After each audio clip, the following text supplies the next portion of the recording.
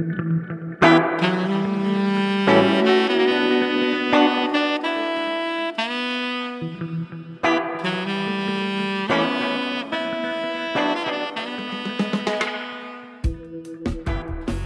listening to the Speaking Tongues podcast. I'm your host, El Cherise. Each week, I sit down to a conversation with multilinguals where we discuss and celebrate language, life, and culture through our own perspectives. Episode 130 Speaking Dominican Spanish.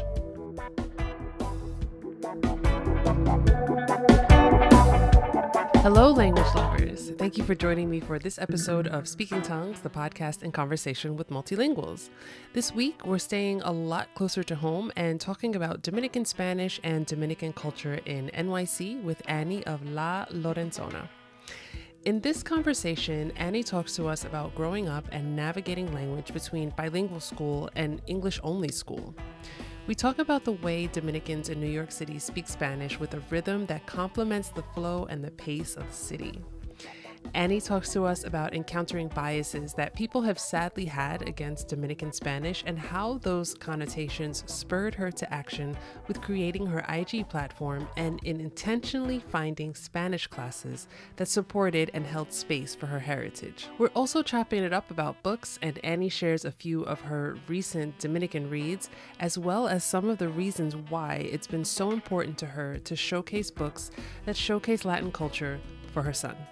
Big thank you to Anny for having this conversation with me and for sharing your language, culture, and our city with all of us. If you enjoy episodes of Speaking Tongues, don't forget to subscribe, rate, and review the Speaking Tongues podcast on Apple Podcasts, and like and subscribe on YouTube so that other language lovers like ourselves can find the show. If you've been a long-time listener of the show or even a recent listener, you can now pledge ongoing support for the show on buymeacoffee.com or on patreon.com. Special shout out to Speaking Tongue's recent supporters and patrons Heidi L, Linnea H, Pat N, and Jody A. For just $5 a month, you will have access to excerpts from this conversation that did not make it to the full published episode. And as you know, I wrote a book. My food zine of international language and cuisine, Taste Buds Volume 1, is available now for purchase. Check social media for the sneak peek inside the book and make sure you purchase one for yourself and one for your friends. Links to all platforms are in the show notes. Okay, let's chat. Welcome back to another episode of Speaking Tongues. I'm here today with Anny. How are you today, Anny? I'm fine. How are you? I'm great. I'm so happy that we had this opportunity to connect, and I'm so excited to learn from you in this conversation. And uh, it's not often that I welcome not only a fellow New Yorker, but a fellow Bronxite right to this show. So I'm pumped. I'm so excited. This is going to feel like a little slice of home, at least for me. I like to start each episode with the same question, which is what is your first language and which languages have you learned to speak? Um my first language is, is Spanish. Um and I learned to um speak English in school. Oh, cool. Yeah. what was that like? Right? yeah, like what was that? I mean, it's not uncommon at all. Uh, what was that like? I guess going to school uh, as a Spanish speaker in an English, you know, speaking environment. Well, for me, it wasn't that difficult because my parents enrolled me in a bilingual school. So I was in a bilingual school, public school from kindergarten to third grade. So our class, our you know, our assignments, our lessons, everything was done in in Spanish and English. I don't remember the model that they used. Um, they have like different models, like roller coaster model, like that it's like half day English, half day Spanish, or you know, one day English, one day Spanish. I don't remember what exactly it was. Um, so I I didn't realize that I was learning another language until literally when I went into college hmm. and mm. I was studying to become a teacher was when I realized I was like, oh, I was uh uh you know, I was like an ESL kid um, and I didn't realize it at all. Oh, that's uh, interesting. Yeah, because when I well, first my my experience in a bilingual school, everybody in the school spoke Spanish and spoke English. And then when I went to Catholic school, I was only with monolingual, you know, speakers, only English speakers, and I at that point I already spoke English, but I do remember struggling a lot, and I didn't know why until I became until I went into college and I was in teacher like prep um, school, and then they were teaching us about what they call English language learners. And then I became, I did my master's in in teaching English to speakers of other languages. And then that's when I was like, oh, this was me. I was that kid. that's why I was struggling so much in when I went to a school that that didn't have Spanish anymore. That's so interesting how that reflection comes later because I would imagine you being around bilingual people all those years, it was normal. So there wasn't really any need to think that anything was different until you were faced with the totally different different language that you had to use every day. Um when you were I guess in your home you spoke Spanish at home um and then maybe outside of school or with other did you have interactions with um people who predominantly spoke English in your community, or was Spanish the language that was spoken in your community? So for us, yeah, at home we just spoke Spanish. There was no other choice. I mean, my my dad uh, is bilingual; he speaks English and Spanish. But at home, uh, we only spoke Spanish. My mom, to this day, uh, speaks some words in English, but she's predominantly, you know, she's dominant in, in Spanish. So even now, I still speak to her in Spanish. Um, in the community, it was interesting because it's kind of like what you said. It was normal for me because all of my friends were bilingual. I didn't have any friends that weren't bilingual. So everybody, we were all like in the same kind of bucket. Like we spoke Spanish at home, but amongst each other, we only spoke English. So if I hmm. were to if I were to speak Spanish to my friends at from school, I would feel weird and they would feel weird. But at home, it was just you just spoke Spanish. I don't know. now that I'm thinking about it, I'm like, wait a minute. I never spoke, we never spoke to each other in Spanish ever outside of like the home.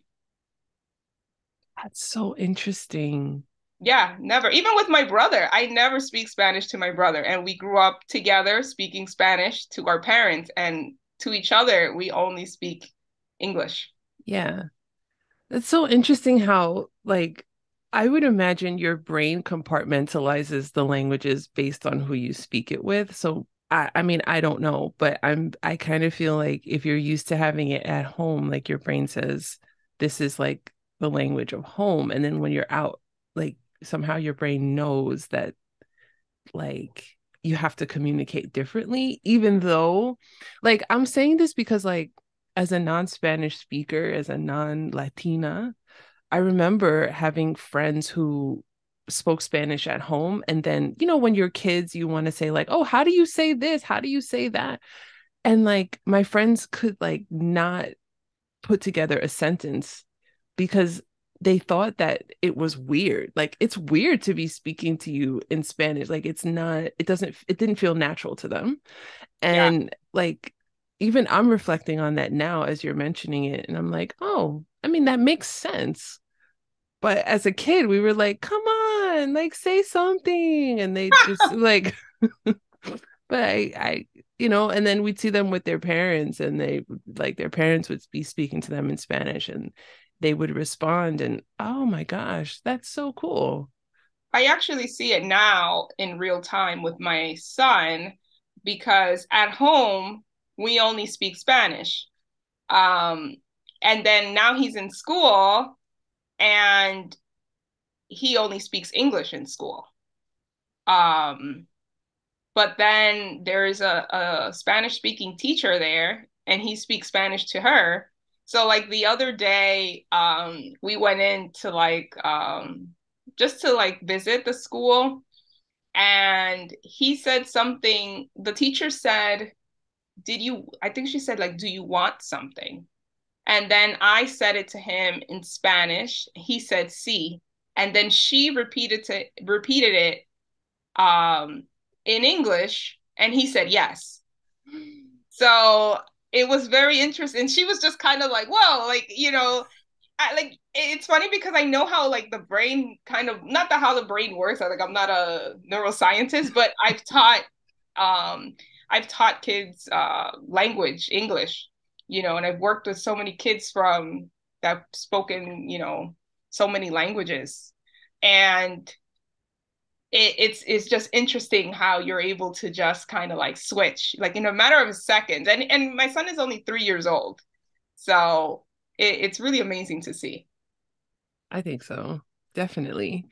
Um, so we are specifically talking about Spanish as spoken in Dominican culture, which is like I've been waiting to have a conversation about Dominican Spanish because I've said on other episodes that I am endlessly fascinated by the Spanish language because it's so diverse, it's so vast and there's just so much to to for me as a non-Spanish speaker there's so much to uncover, there's so much to learn, there's so much to you know to see and to hear um and I've said before, I'm on the record as saying that it's a little intimidating for me because I, you know, as someone who, you know, doesn't speak, I'm like, well, you know, from this place or this place and this word. And like, I'm just so conscious to like not offend anybody and saying, like, you know, here it means socks and over there it means something, you know, vulgar.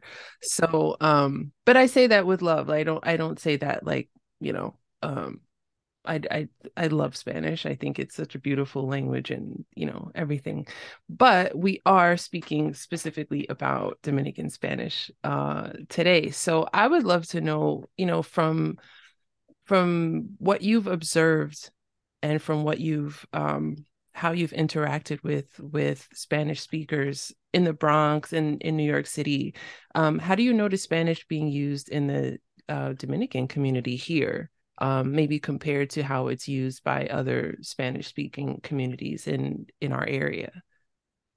Um, in terms of how we use it, I feel like everybody kind of uses it the same. Like we live in a place like that's New York City, so everybody uh kind of like mixes and mingles, and at the end of the day, you know, we all use the language just to get our, our point across.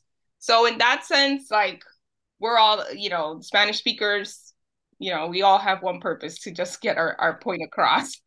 Um, in terms of like, you know, that that's how I, I feel. Like I feel like when I worked in I worked in early Head Start for a long time.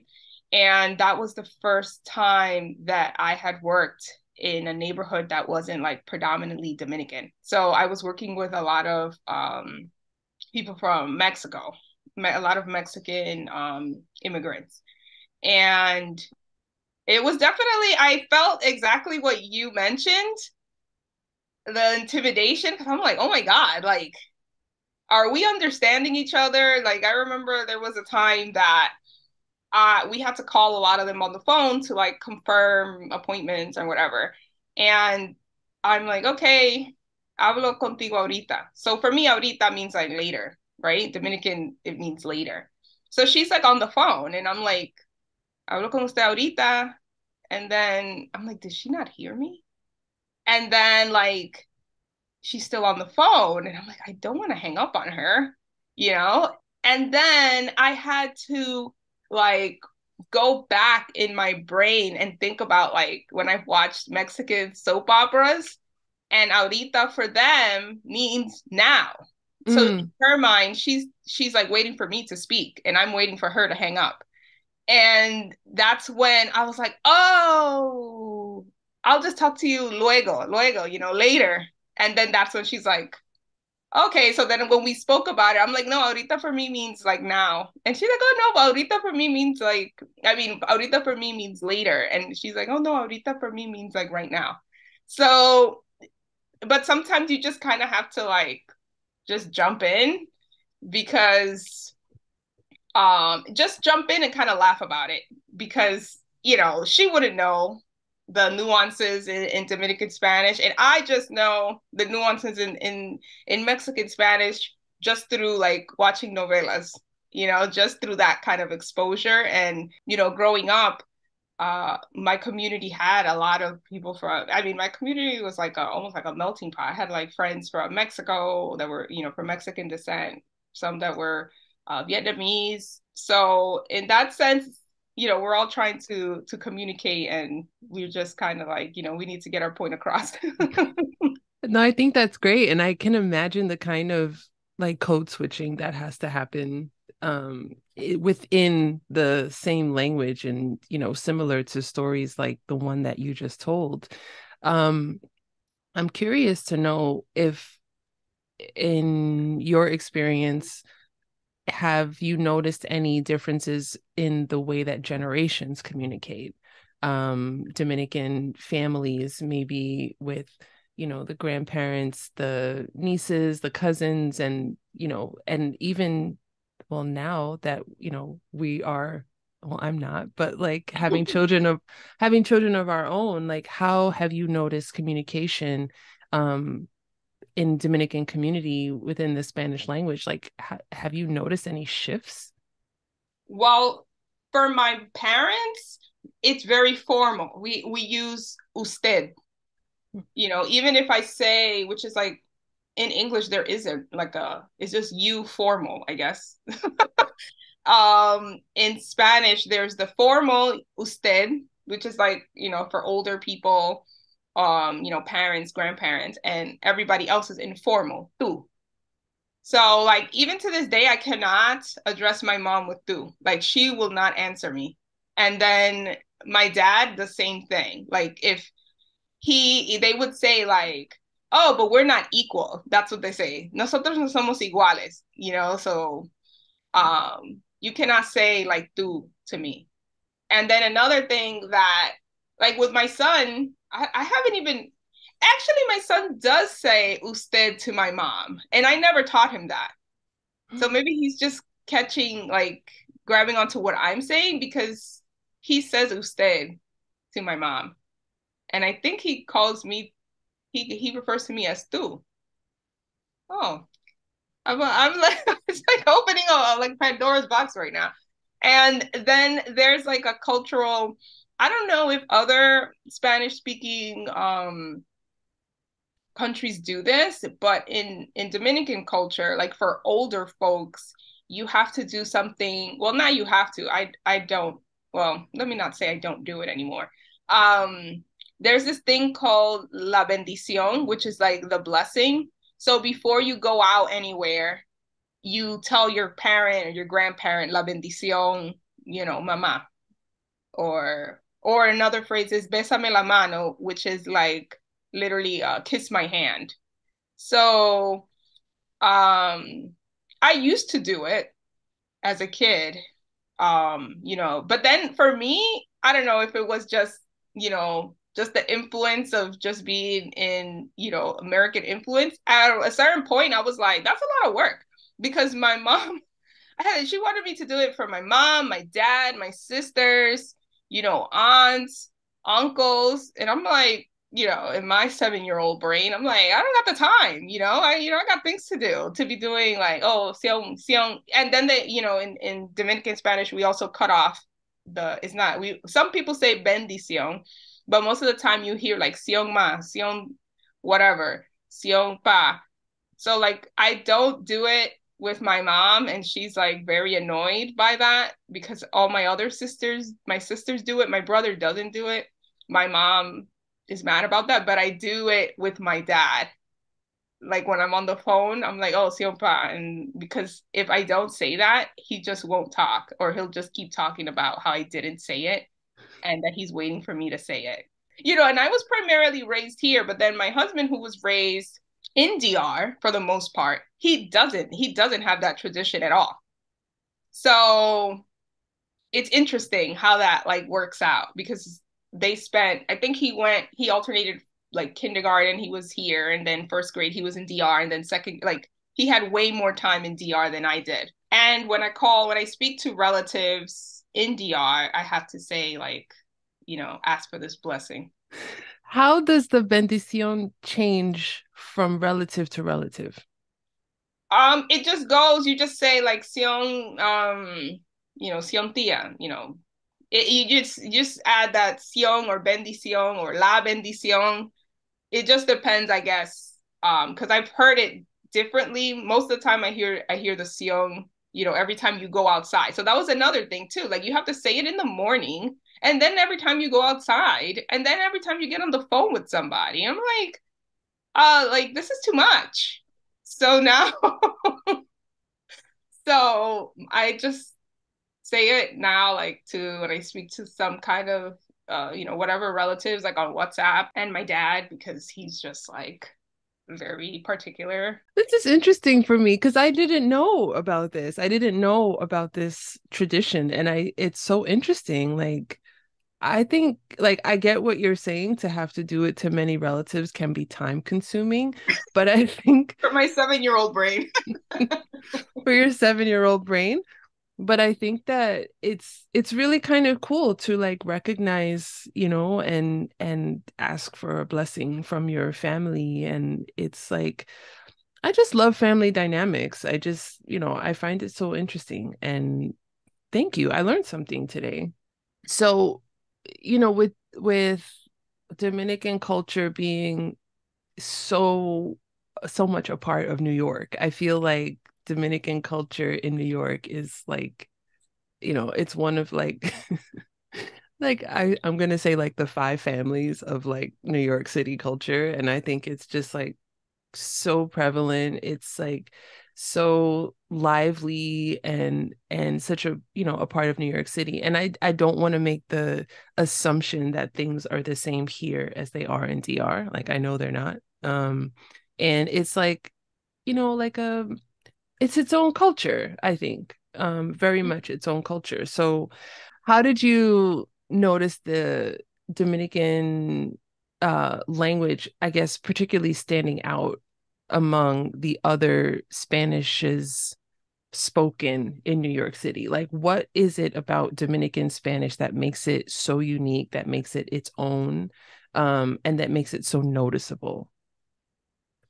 I think what makes it noticeable, I think is that we're like very creative with language. We're uh, there's always so many like phrases that I hear around, and I'm like, wait, what? and I I feel like now also with the the music movement now, you know, with the dembow, like it's more like in your face, it's everywhere. You know, you hear it, and there's a lot of music, uh, you know, artists that have brought like Dominican Spanish to the scene. You know, you have Romeo from Aventura that everybody like loves you know you have the bachata scene you had like prince royce for a while that you know was very popular. You have he's not dominican but bad bunny collaborates with a lot of dominican artists and uses a lot of like you know shout it gives a lot of shout outs to dominican artists that he works with and uses dembow so i feel like now we're at the forefront just because of like the music. Because i remember when i was growing up even to the point that i was like in college in working, a lot of people would like like look like frowned upon Dominican Spanish. Mm. Um, because they would say like, oh, that it's not proper, it's not formal. It's uh I remember I had somebody tell me, Oh, I didn't think you were Dominican because of the way you speak Spanish, because I can understand you. That's what they told me. Yeah.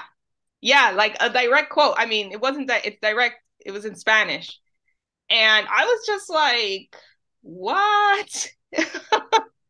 so like for me, um, you know, it was like now that I see, you know, there's more of an acceptance of just, you know, speaking the way you want to speak and now like it's kind of cool now, right? Like the like the way that we say certain things and the words and the the way that we come up with different words and different um just like the it's just like now it's more popular now everybody wants to uh you know, speak Dominican Spanish or Puerto Rican Spanish because uh, it's cool now. But before, oh my God. I remember there that I had a teacher that said that if we were to go to Spain speaking the way that we do, they would tell us to speak English.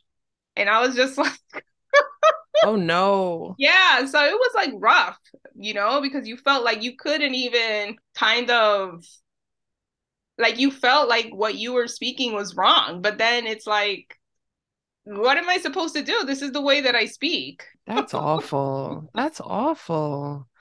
And I, I can't believe, like, sometimes I cringe at some things that teachers said to me, like in the 90s. I'm like, how did you get away with that? Like, right. you know, and and the thing is that it that was said because maybe somebody said that to them, right? Right. So it's like, you know, this cycle of feeling like your Spanish is not good enough. Like you you cannot use your Spanish to communicate because people say that they cannot speak to you because they don't understand you. Or if they do understand you, it's because you've reached, you know, this level of Spanish that I don't know, that not everybody uh, gets to, I guess. I don't know. Yeah. But yeah, it was very, very, very hurtful too, because for a long time, um, going into a kind of another subject, when I once I became a mom, I was like, can I even do this?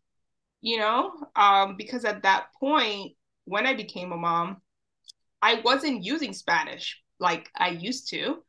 Um, I, like I had mentioned, I had worked um, with uh, the Mex- Mexican population for a long time. So I was using my Spanish regularly.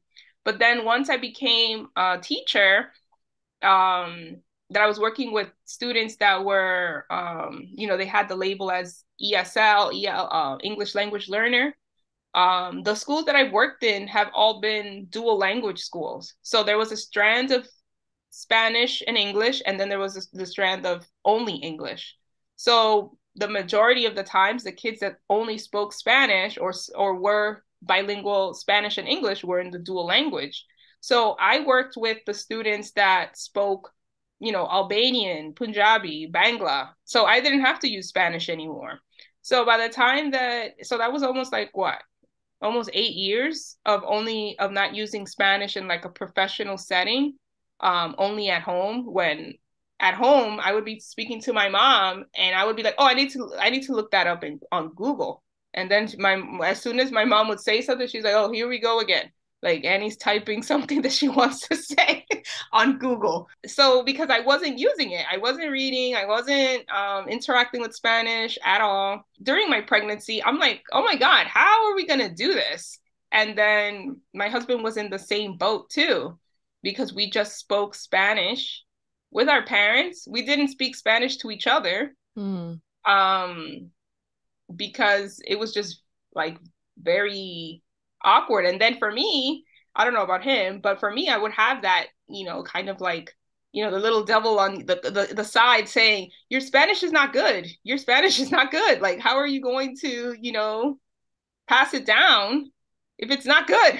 so I had to like do a lot of like, um, kind of like almost like soul searching. Like I started taking classes in Spanish. I I started buying books um, like picture books that would eventually go to my son, but I was reading them out loud and like writing down the words and putting like I was literally being my own ESL teacher. Like I was putting, you know, writing down the words on post-its and putting it in the book. And yeah, it was it was a process. I think well, first of all, I'm sorry that you had those thoughts about you know your spanish not being good enough and i think it's really sad that you know span from what i've heard from spanish speakers um in latin america and the caribbean is that always that comparison to spain and that european spanish standard and it's like well you know the language it started there but i mean you've got how many millions of people now, hundreds of years later, post colonialism, and it becomes a language of its own. So it's not wrong. And I think that I can only imagine that, you know, being younger, we didn't have that vocabulary to say, you know, to to have that thought process or to even think about it in that way. But like I, one thing that I say on this show a lot and I just hate is when people have been taught to feel like their language is not a language or it's not good enough because as you said even with the music you have people singing in this language, people using terms from this language, how can it not be real? You know, it it has value and it it allows you to communicate. So um I'm sorry that you had that experience, but I am glad that you found a way to reconnect with your language and to share it with your son and I think that's so precious. Yeah, it you know, it took it took me a while. Like I was telling my husband, I was like, because I was looking, I was like, oh my God, how are we supposed to do this? How are we supposed to, you know, parent, you know, this way? And then my husband, he's like more of a realist. He's like, Anny, our parents did it. we speak Spanish and English. and I'm, because there was a day that I was trying out the different like strategies, and I'm very like I'm like a rule follower. Like if you tell me this is how you're supposed to do it and we're not doing it that way, I'm like, you know, I throw the baby out with the bathwater. I'm like, okay. So one time we tried to do like he speaks English and then I speak Spanish. This was all happening and you know he was not even bored yet this was during my pregnancy because i said this is like a language boot camp and we need to get you know like once he comes out we need to know what to do and he's like okay he you know he you know bless his heart he's very he just goes along with me um so one day we were trying you know he does english and i do spanish like you know he's speaking in english to me and i respond to spanish in spanish to him or we did it the other way around i know that i just got really mad because one of us broke the rules and then I'm like, oh my God, we won't be able to do this. We're just failing. We're just failing. We're not going to be able to do, you know, teach him Spanish. And then he's that's when he told me, he's like, Anny, do you realize that we're both bilingual? he's like, how the, he's, you know, how did our parents do it? And I'm like, well, we just spoke Spanish at home. He's like, there we go. We just to speak Spanish at home. Oh man, that's crazy enough to work, you know? but and as he, you know, when he was little, it was just us kind of like just speaking to him and it was more so for us to have the foundation and feel comfortable because when he and I started, you know, my husband and I started speaking Spanish to each other, I was like, oh, like, do I really have to? It it it, it almost felt like it, it, like you know like it didn't feel natural. It was kind of mm-hmm. like what we were talking about, you know, with friends you know, we our whole relationship was in English. So now to like switch it, it felt like I was, you know, with somebody else. I'm like, who is this guy? And why is he in my house? I was even taking classes. That was another hard part because a lot of the classes that are provided for Spanish, it's not for what they call heritage speakers. Mm. So that was another struggle that I had that the classes that I would find were too um like for lack of a better word too basic.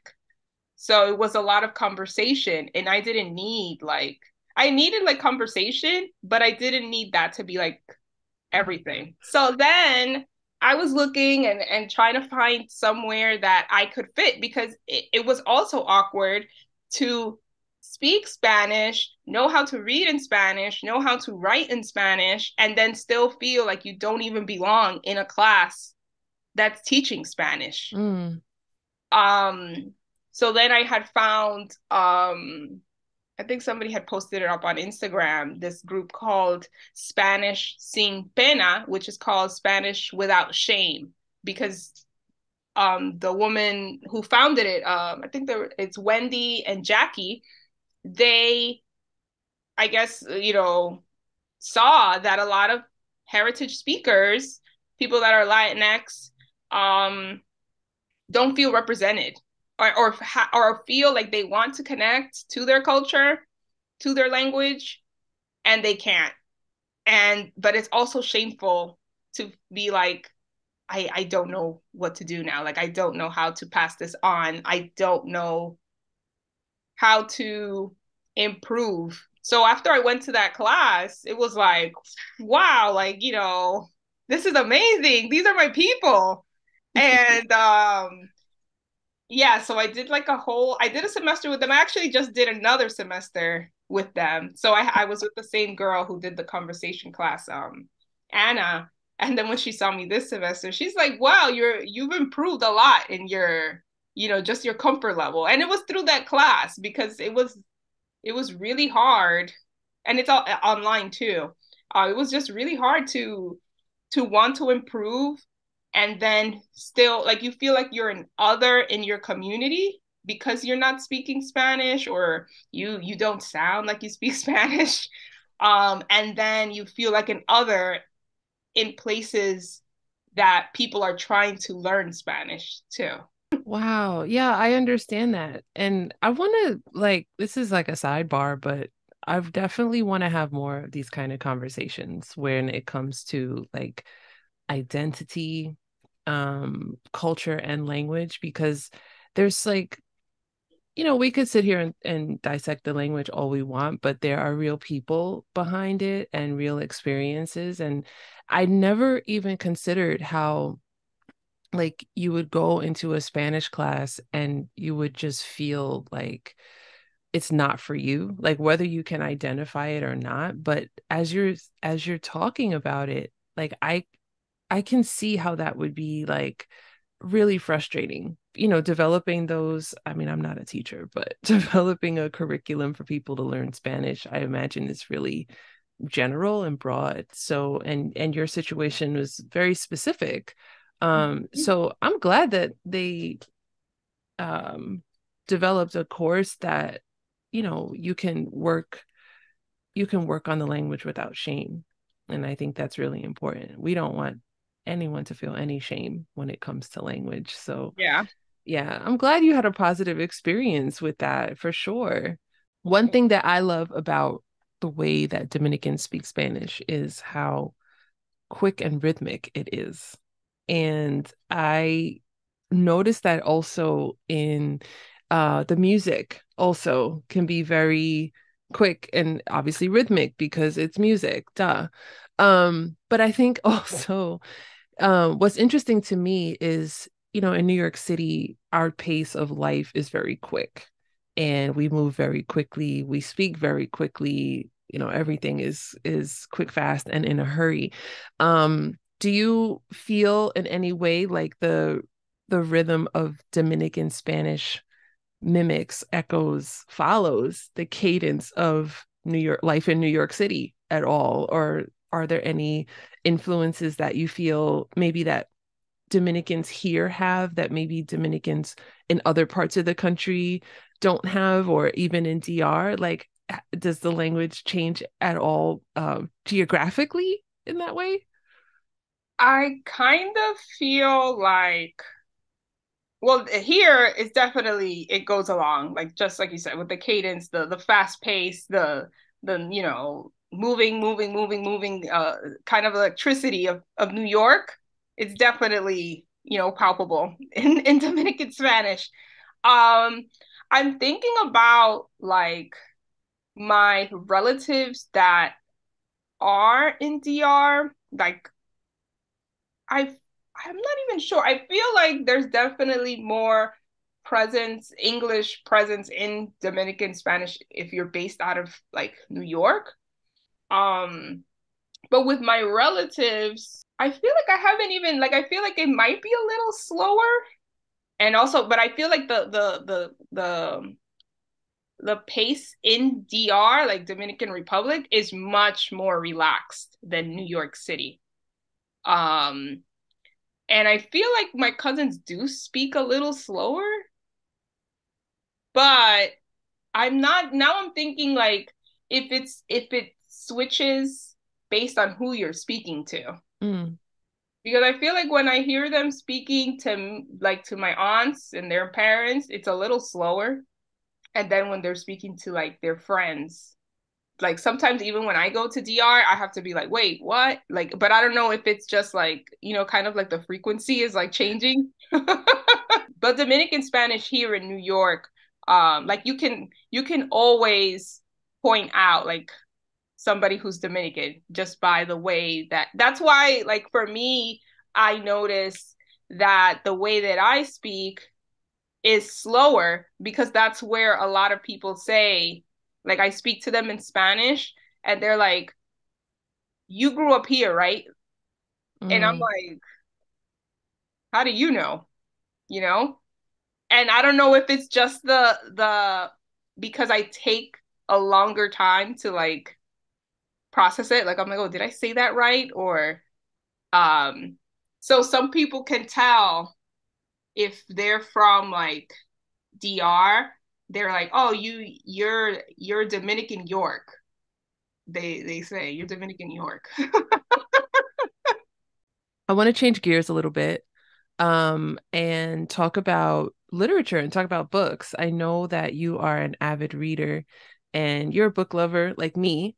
Um, and you share on your platform many Spanish uh, books and resources for um, you know, for Spanish speakers and for parents who are, you know, raising bilingual children or um and I would love to know um you know, what are some Dominican authors that you love uh some Dominican books that you love or stories that you love um and things that you've shared? Um the last last year I read um these two books by these uh, two Dominican authors that I really, really, really love. Like one was I it was my, the first audiobook that I ever finished. Um it was um How Not to Drown in a Glass of Water by Angie Cruz. Um so that's like a Dominican phrase. It it translates to um well the the phrase is how not to drown. And it's like sometimes your mom or parent or whoever might tell you like you might be going through something but you're don't drown in like a glass of water. Like you know relax. So by angie cruz and she has many books. Uh, she has one called dominicana. Um she has this one and i think she has another one called soledad that i think i read. And i really i really love um her style of writing it's very like it's very dominican you know? Even when i was listening she even had like um because the book is based on a middle-aged dominican woman and i was just listening to her and then my husband's like is that your mom? Like it literally sounds like i'm listening to my mom's whatsapp voice messages. That's how like amazing that narration is on that audiobook and it was just an amazing book. It was based on um like i said a middle middle aged woman living in uh washington heights. Um so that was a great book. And another one that i read by a dominican author um her name is uh Cleyvis Natera. Um her book was called neruda on the park um which was also amazing book and I was able to like speak to her because she came on like a book club chat.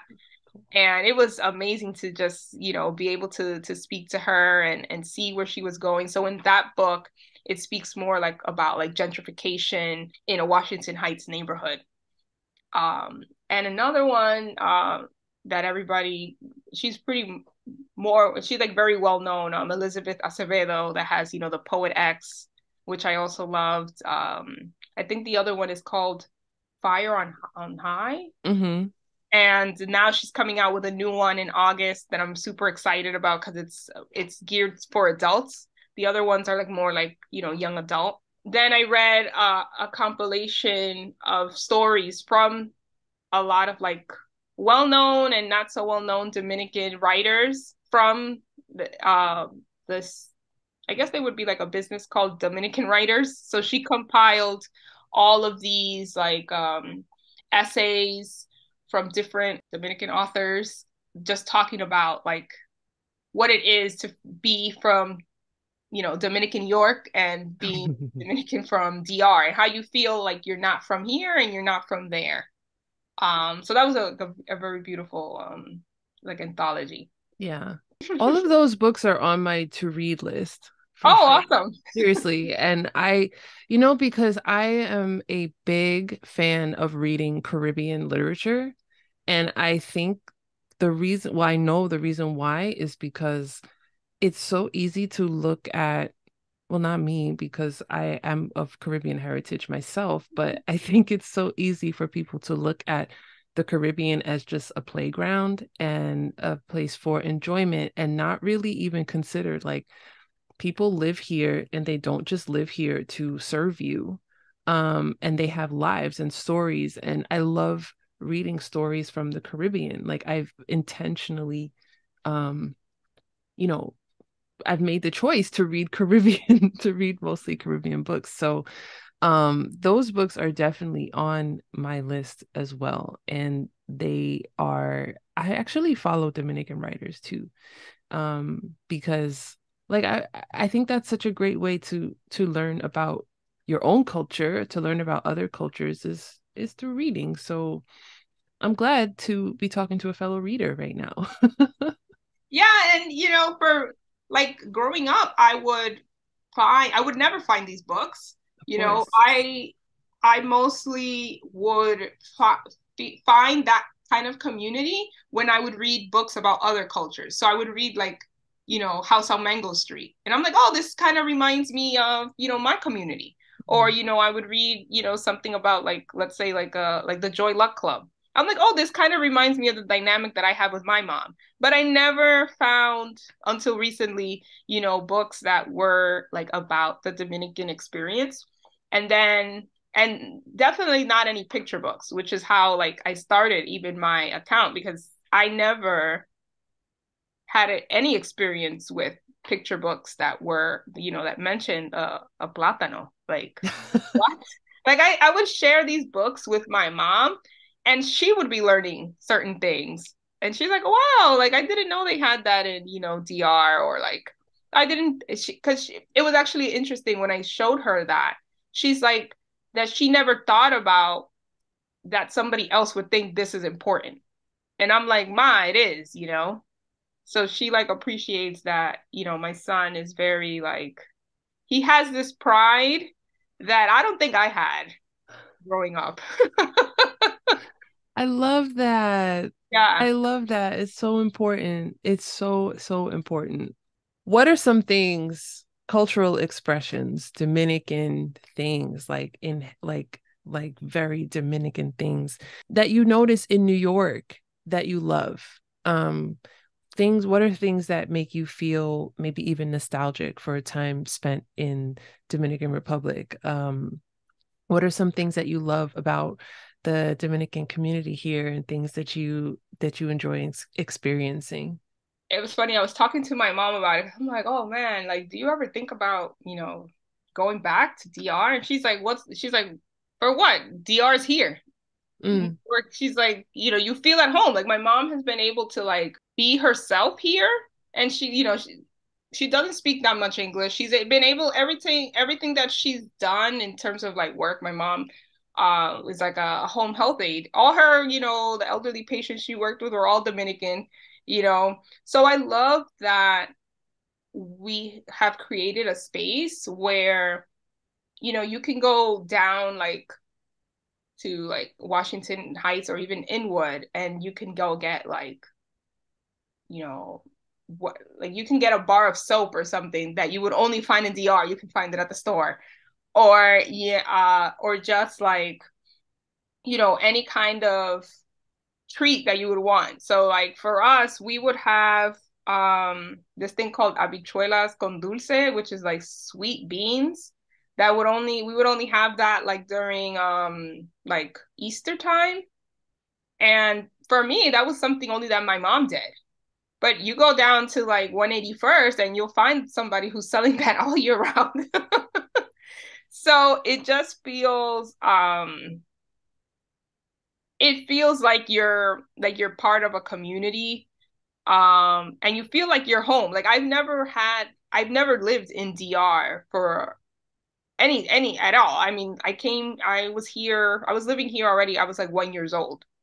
So for me, all of these things I experienced just through my family. So to see it outside of my family and see it just everywhere you go, like, you know, you go down 181st, you see even the streets, the school, there's like a, a Hermanas Mirabal school, like, and you're like, oh wow, like, you know, you feel like important. You feel like, wow, this is this is home.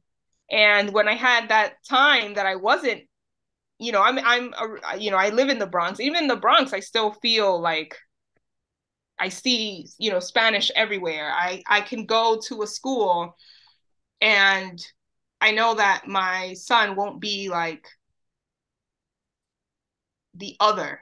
He he's he like is part of a community. He can see himself in his teachers. Even for me, like a lot of people would say like, oh, that they never had a Latinx or a teacher in their life. And all of my teachers, for the most part, have either been Dominican or, you know, from some from Latin America, some like, you know, and I feel like that's like a very beautiful thing, you know, because you can't find that anywhere. You can't and then to to see what you're what you're looking at in books and then seeing it in real life. So like when I read that last book, um, what is it called? Oh, uh, Plátanos van con todo. Pl- plátanos go with everything. And I saw like the illustrations and even like the house, the apartments. And I was like, this looks like my mom's apartment. Right. And then, you know, my son is like pointing out, oh, this is the Dominican flag.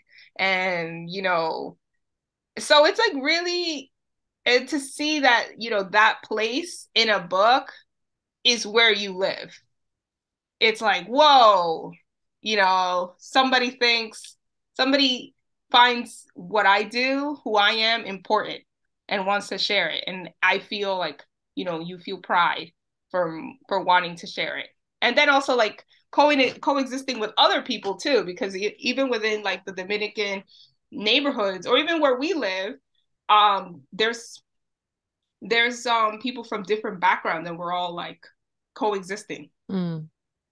so it's, a, it's a really nice thing. Yeah i love that. And i love you know the times i've been up in washington heights and inwood and i'm like like i said i haven't been to dr but you know i would imagine that that's as close as i've been until I actually get there, which is great. You know, I think that's what makes our city so dynamic is like having areas where people can be themselves and they can experience, you know, their home, their culture in just a short train ride. I think it's amazing. I have so enjoyed this conversation, Anny, and talking hey. with you has just been so much fun. Um, please tell us about your platform on Instagram, online, and let us know a little bit about what you do. And most importantly, let us know where we can find you. Um, I'm on Instagram. I'm working on other things like trying to open up get a website, but right now I'm on Instagram and I'm under La, I think it's underscore Lorenzona. um, Lorenzona is just um my son's name. That's what we call his room. So his name is lorenzo. So we call his play space la lorenzona because that's where we spend most of our time. So when i started that instagram page um that's kind of the name that stuck out to me because it was about things that we do together um, that I thought would be helpful for parents. Just as my background as you know a teacher, for many years working with uh, multilingual, bilingual students, working at the library for a long time. So all that breadth of knowledge was now like I used for my son, and then I kind of just wanted to share it with everybody else. So on my page, you'll just find literally what you would find like the random things you would find in your kid's room. It's it's like it's La Lorenzona. You find you know i i've been focusing a lot about uh, books now because i haven't been in the classroom but since my son was born. So i still put up like teaching things and things about education and language. Um, I put up a lot of book reviews for because that was a really tough venture finding books that weren't about like you know a panda bear or something like books about like kids that look like my son and other kids you know in our community and that weren't in spanish that was like the big you know point. Like i yeah. couldn't find those books. Yeah that's my platform. I'm trying to work on other projects to kind of expand on that um, just to give more access because i feel like you know i'm reviewing these books and then it's like i have the books in my house. So i, I my new project is to create a what i call lorenzo's little library where i'll be sharing his books with like people that said that they were interested in it. So I had put like a survey as to who would be interested in being like part of this little community, uh, like for a little membership fee, like for shipping costs and whatever, and to share some of the books that I have with like people that have been engaging with me for like I guess a year now because I've had that I've had that page for a year now. Yeah. I'm not a mom myself, but I love your content and I think it's so accessible and so very necessary. Um, you know, for for children, for children of color, for Latin children, um, Latinx children to see themselves reflected. And I'm glad this is part of the conversation that um our kids get to have that we didn't get to have. I think that um, I think it's so special, and I really applaud you for doing your part in this conversation and and helping to amplify voices of people who are building community and and adding resources to the community um, for everyone. So. Uh, I will add your information to the show notes of this episode so that anyone listening and wants to get in touch, wants to follow you, can just click and do so right away. Awesome. um, like I said, this has been fun. Yeah, seriously.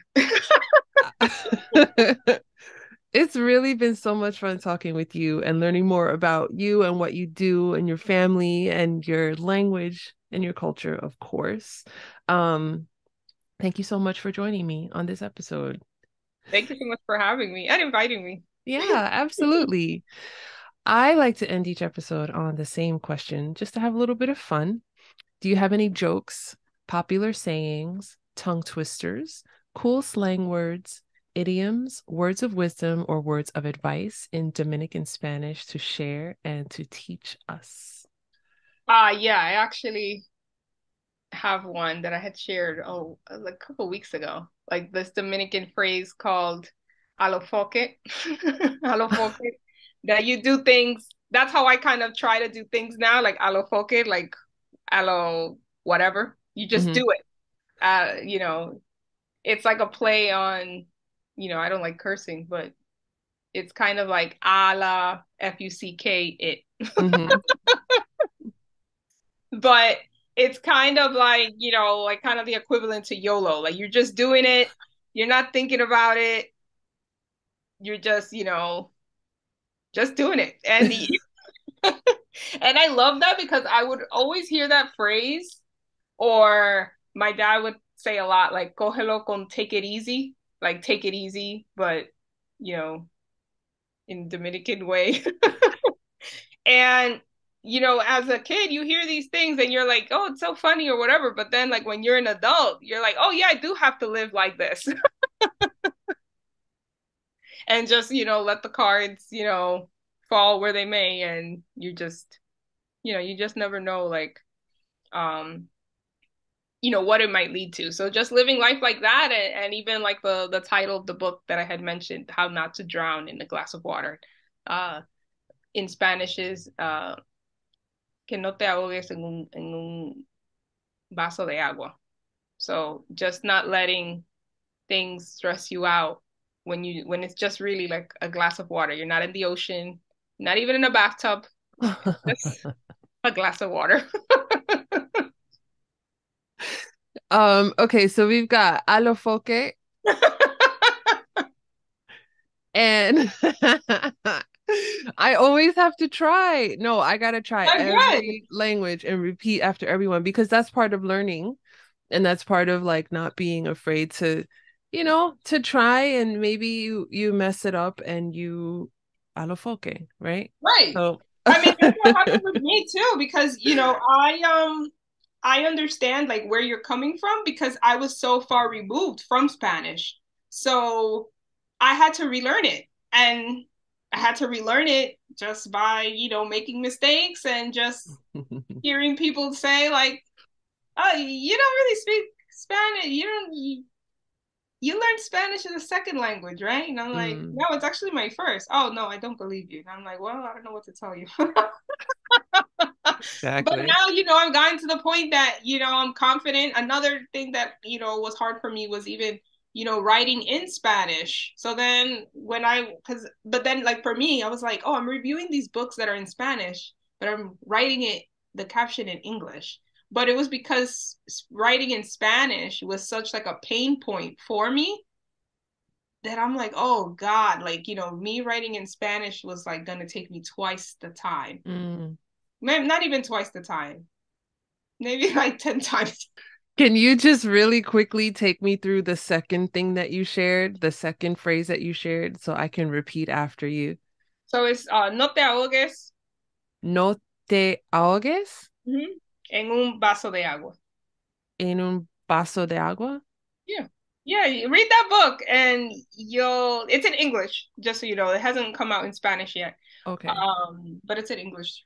Yeah. It's on my list. Well, Anny, thank you again No, for thank you. stopping by for conversation. Um, really quickly, in the Dominican community here in New York, if we were two people talking, such as we were today, and enjoyed the conversation, and we're about to go our separate ways, what is the best way to say goodbye? I would just say, oh, I usually, I mean, I don't think it's a Dominican way. I would just say, like, oh, hasta la próxima. See you next time. And then my mom would add, si Dios quiere, if God allows it. So that's usually what you would hear at the end, oh, si Dios quiere. Or, Ah, okay. yeah. But I usually, I usually say just hasta la próxima or nos vemos or, yeah. Okay. Hasta la próxima. Nos vemos, Anny. Bye. I'll be talking to you soon. Bye. Bye. New episodes of Speaking Tongues are available every Monday, 7 a.m. Eastern Standard Time. Don't forget to subscribe to our YouTube channel and to like and share episodes with other language lovers like ourselves. A biento!